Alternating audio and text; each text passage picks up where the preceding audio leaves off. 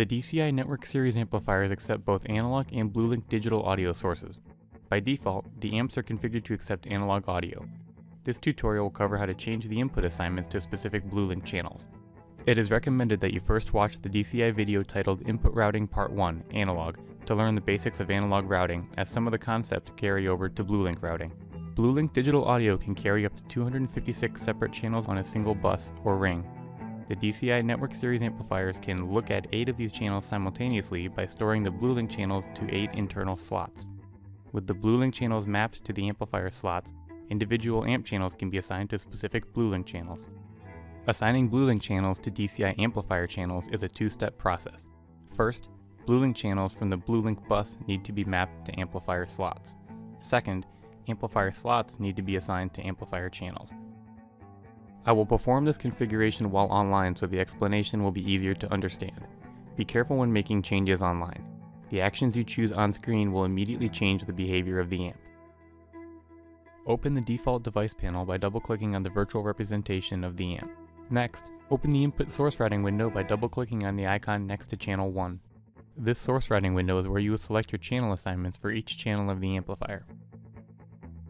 I am currently using a 4 channel amplifier and you can see that any of the 4 analog inputs can be assigned to any of the 4 channels. Notice that even though this is a 4 channel amplifier, there are 8 Bluelink options to select. These 8 options are the 8 input slots mentioned before. All models of DCI network amps include 8 input slots, regardless of the channel count.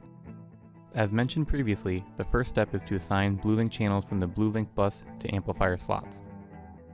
To assign these 8 slots to Bluelink channels, we will need to dig deeper into this menu. First, click on Input Configuration. The Input Configuration window will appear.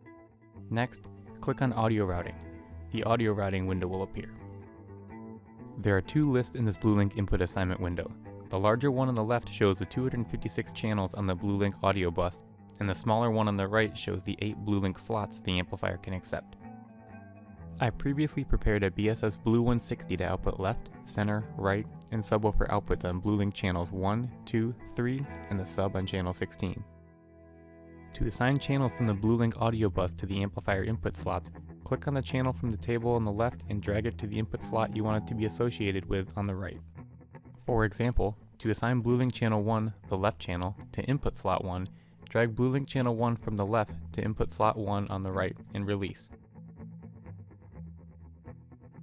I will repeat this step for the center and right channels, assigning them to input slots 2 and 3.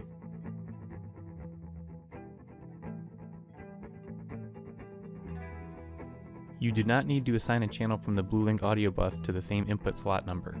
For example, the subwoofer audio is on Bluelink channel 16, but I can assign it to input slot 4 by dragging and dropping from left to right. I have now mapped Bluelink channels to the DCI input slots. The amplifier can also accept Bluelink channels from a source other than a Harman HiQnet device, such as a Cinema processor. These channels may not show up in the Bluelink bus table, but they are still active channels that can be assigned to amplifier input slots. I have previously configured a non-Harman device to output audio on Bluelink channels 20 and 21 for back left and back right. These channels can be assigned to the amplifier input slots by dragging and dropping those channels from left to right exactly as performed earlier.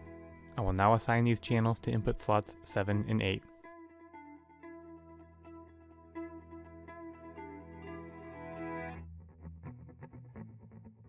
Notice that the Bluelink channels on the left have turned yellow as opposed to the previously assigned channels that are now blue. Blue indicates a valid connection, while yellow indicates there is a warning. This warning occurs when an amplifier slot is assigned to a Bluelink channel that is not recognized by the Audio Architect control software. If there is Bluelink audio on these channels, the amplifier will properly receive the signals. While it makes it easier if all devices are HiQnet devices connected to Audio Architect, this does not prevent the DCI amplifier from receiving and using Bluelink channels from devices off of the Harman control network. Now that the channels from the Bluelink audio bus are mapped to the amplifier input slots, it is time for the second step. The amplifier channels need to be assigned to input slots. Click OK to accept changes and close the Bluelink channel assignment window. Close the previously opened input configuration window and navigate back to the source routing window. Under the Priority Input Routing section, use the drop-down box to select the Bluelink input slot you want assigned to the channel.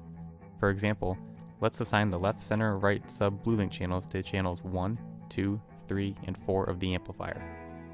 Since the left channel was assigned to input slot 1, channel 1 source routing should be configured to receive BlueLink input 1. Let's move on to channel 2 by either clicking on the colored tab at the top or by double clicking on the input block for channel 2 on the main device panel. Change the input assignment from analog 2 to BlueLink input 2, which represents the center channel. Channel 3 will now be assigned to BlueLink input 3, or the right channel.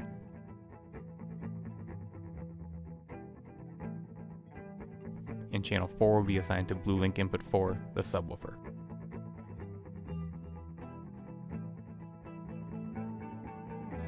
Notice how the label under the drop-down box changes when a BlueLink slot is assigned. For easy reference, the BlueLink bus channel is specified in the square brackets with the name of the outputting device and the object listed afterwards.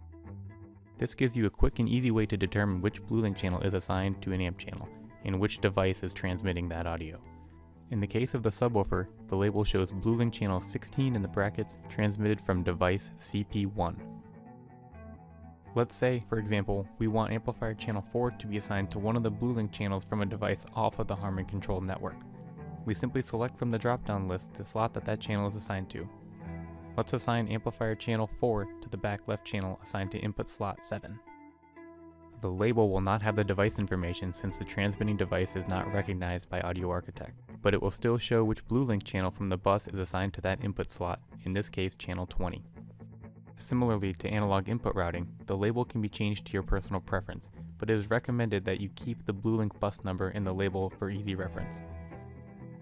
When the input channel assignments are complete, make any other planned changes to the amplifier and store the preset by selecting the now yellow Store button on the top of the amplifier device panel.